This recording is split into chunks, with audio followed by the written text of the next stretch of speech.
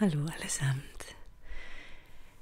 Hier habe ich gerade ein wunderschönes kurzes Video gefunden von Max Egan heißt er. Der ist Australier und ähm, das war ziemlich äh, spannend. Der ist gerade so noch dort von dort weggekommen und jetzt irgendwo in Mittel- oder Südamerika untergekommen, bevor es zu eng wurde dort für ihn. Und der ist schon seit langem so im Widerstand und dabei den Menschen ein bisschen Aufklärung zu bringen, die möchten. Und ähm, es ist ganz spannend, weil mich hat das Video deswegen so bewegt, weil ich ähm, oft, wenn ich ihn gehört habe, immer das so sehr auf die negativen Berichte ausgerichtet fand und immer so ein bisschen jetzt nicht angstmachend, aber so, uh, so ein Wow-Gefühl für das, was wir da zu erwarten haben oder das, was da alles passiert.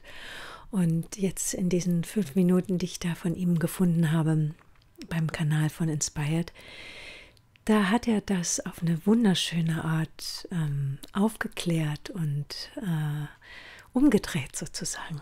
Und das möchte ich sehr gerne mit euch teilen. Zuvor möchte ich mich noch bedanken bei allen, überhaupt bei allen, die zuhören und bei denen, die da einen Energieausgleich, wie man das so schön sagt, vorgenommen haben, obwohl ich ehrlich gesagt irgendwie, irgendwie das gar nicht so gerne mag, diesen Begriff, wenn man, weil ich auch nicht den, den Eindruck vermitteln möchte, dass man da nichts ausgleicht, wenn man das nicht macht. Also jeder sollte das so handhaben, wie sich das für ihn gut und richtig anfühlt. Mir geht es immer so, wenn ich Sachen höre, die ich toll finde, dann habe ich irgendwie so auch das Bedürfnis, irgendwas dafür zu geben, aber auch nicht immer. Also ich mache das jetzt nicht aus einem schlechten Gefühl heraus, sondern wenn ich die Zeit habe und den, die, die Energie, dann gebe ich einfach einen kleinen Kommentar oder einen Daumen hoch, wenn ich nicht äh, was spenden kann oder möchte.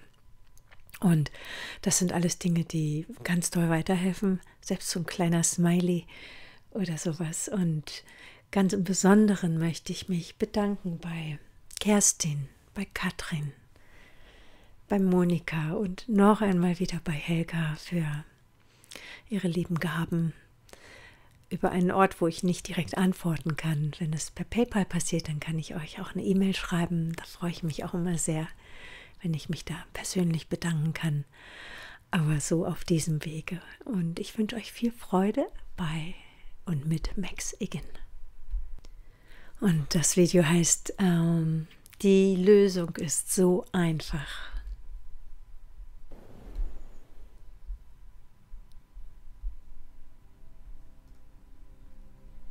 As I've often said, this is an emotionally based reality. Wie ich schon sehr oft gesagt habe, ähm, handelt es sich hier um eine auf Emotionen basierende Wirklichkeit. It's an emotional mirror. This whole reality is an emotional Es ist einfach nur ein emotionaler Spiegel. Diese ganze Wirklichkeit ist ein emotionaler Spiegel. Ich habe einen Film gemacht, der heißt Das Erwachen und in dem habe ich darüber spekuliert, dass viele dieser altertümlichen Orte, die viele dieser Orte, von denen wir gesagt bekommen, dass das Tempel seien. Dass das nicht wirklich Tempel sind, sondern Bücher. Bücher, aus denen ich lernen kann, wie ich die Sprache von Gefühlen und Emotionen sprechen kann.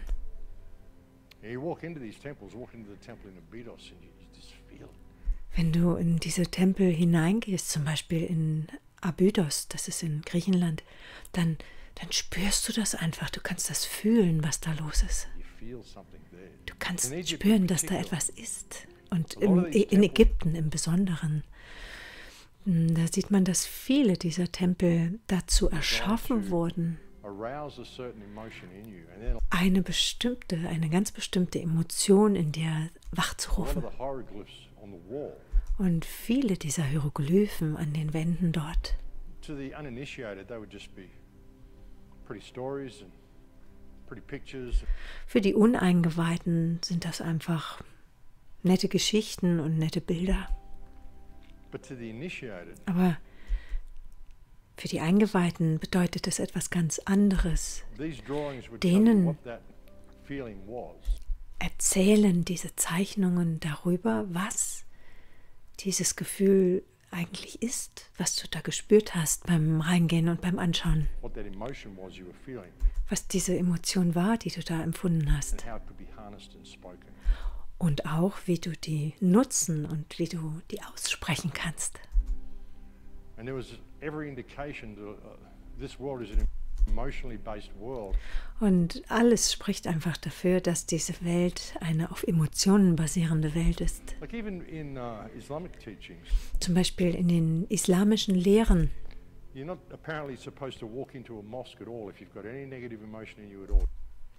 Da ähm, steht geschrieben, und es ist ganz wichtig, dass du auf gar keinen Fall in irgendeine Moschee gehst, wenn du irgendeine Art von negativen Emotionen in dir spürst. Denn es ist ja so, egal welche Emotion du da hast, wenn du da reingehst, diese Moschee und dieses, diese Frequenz dort, die ver, vergrößert dieses, also dieses ähm, Amplify, also das steigert dieses emotionale Feld ähm, um ein Vielfaches. Also es verstärkt es. Und bei Kirchen sieht das ganz genauso aus. Kirchen sind dazu erschaffen worden, um Energiefelder zu verstärken. Und viele Kirchen produzieren aber ziemlich schlechte Energie. Ähm. Ich bin sogar der Ansicht, dass Kirchen ursprünglich Stromerzeuger, also Kraftwerke waren und nicht wirklich als Kirchen gebaut wurden. Einfach wie Kraftwerke, Power Stations. Also in der, Tatar in der Welt Tartariens damals, da war das äh, ziemlich sicher so. Das Ding ist, sie generieren Energie und sie verstärken sie. Das ist durch die Art, wie sie erbaut sind.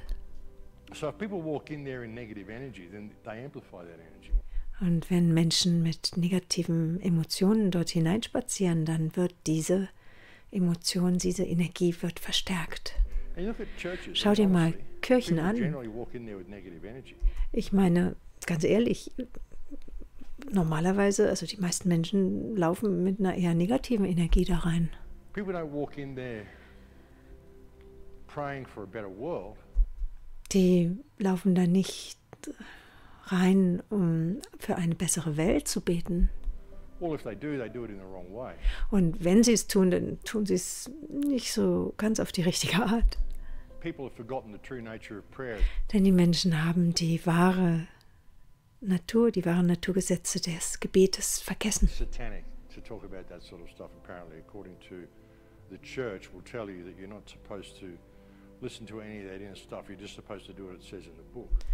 Und die Kirchen haben kein Interesse daran und möchten nicht, dass du auf irgendwas von dem hörst, was ich da zum Beispiel sage, sondern dass du alles so machst, wie es in dem, ihrem Buch steht. But the thing is, Aber die Sache ist die, wenn jemand in eine Kirche geht und wenn Menschen aber in die Kirche gehen aus Angst, dass sie sonst in die Hölle kommen, wenn sie da nicht hingehen, dann gehen sie aus Angst da rein und um aus einem Selbsterhaltungstrieb heraus. Also im Grunde genommen gehen sie aus ganz eigennützigen, selbstsüchtigen Gründen dort rein. Und die sind dann auch noch angstbasiert. Also sie gehen dort hinein, um sich selbst zu schützen. And then they go into these buildings and they pray Und dann for gehen sie dort hinein and they pray for love, und beten für Frieden und sie beten für Liebe. Und das ist ja im Grunde genommen eine negative Affirmation. Denn wenn du für Frieden betest, dann anerkennst du, dass es keinen Frieden gibt in der Welt. Und wenn du für die Liebe betest, dann anerkennst du, dass es keine Liebe in der Welt gibt, dass die Liebe in der Welt fehlt. Und wenn du aus Angst dort reingehst und denkst, dass du sonst zur Hölle fährst, wenn du nicht da reingehst und Gott anbetest, dann ist das auch alles sehr selbstsüchtig. So it's all selfish, it's based in fear, and you are confirming that there is no love and there is no peace. Und es ist also selbstsüchtige Gründe und es ist angstbasiert und du bestätigst, dass es an Liebe und an Frieden in der Welt fehlt. You get a Native American. Wenn du mal schaust, wie die Indianer, die Nat Nat Nativen, die ursprünglichen Amerikaner beten, wenn sie für Regen ein Regengebet machen oder einen Regentanz, dann stehen sie alle zusammen in einem Steinkreis und sie versetzen sich selber emotional in diesen, in diesen Status, als würden sie im heruntergießenden Regen stehen. Sie werden den Regen auf ihrer Haut spüren, sie werden ihn riechen, sie werden ihn schmecken, sie werden ihn hören. Und sie werden hören, wie er die Wände ihrer Hütten entlang rinnt. Und sie werden fühlen, wie ihre Füße im Matsch herumpatschen. Und dann wird es regnen. Im Grunde genommen betest du also nicht für etwas, sondern du bedankst dich dafür, dass dein Gebet schon erhört wurde. Denn wenn die Menschen in eine Kirche laufen und schon wissen, dass sie eins sind mit dem Schöpfer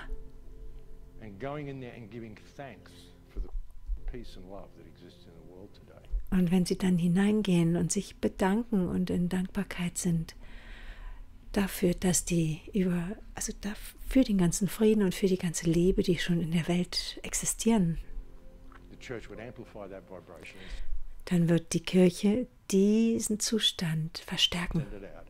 And the emotional mirror would send that back because the world is an emotional mirror. Und sie wird den Zustand nicht nur verstärken, sondern auch spiegeln und zurücksenden, denn die Welt ist ein emotionaler Spiegel.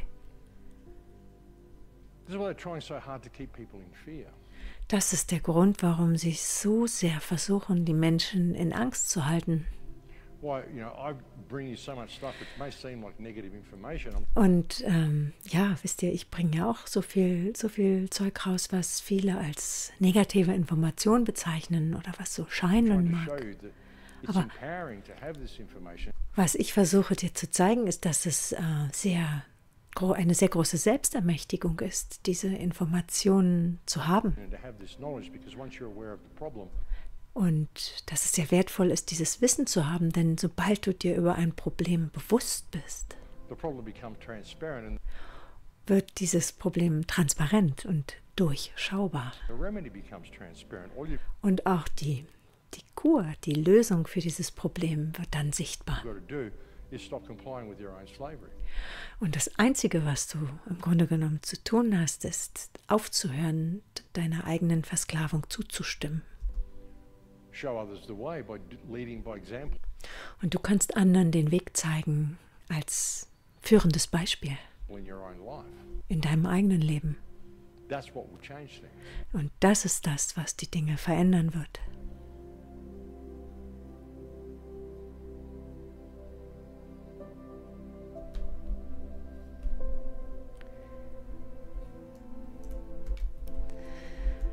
Ja, das ist das, was die Dinge verändern wird. Ich denke, da hat Max Igan sehr weise Worte gesprochen und ich sehe das genauso. Wenn wir stillschweigend hinnehmen und mitmachen, kann sich's nicht verändern. Und es ist dieser schmale Grat zwischen dem Kampfmodus und dieser gesunden Wut und dem gesunden Nein, was wir sagen können. Und wenn wir auf unsere Gefühle und auf unseren emotionalen Zustand gut acht geben und immer zusehen, dass wir den ins Positive kriegen, dann haben wir gute Chancen, vor allem im Miteinander eine wunderbare Zukunft zu finden. Und ich meine natürlich nicht, sie zu finden, sondern sie zu erschaffen. Und dieses Bild kam mir neulich unter, das fand ich so schön dazu. Wer die Gegenwart genießt, hat in Zukunft eine wundervolle Vergangenheit. In diesem Sinne genießt die Gegenwart und das Miteinander. Danke.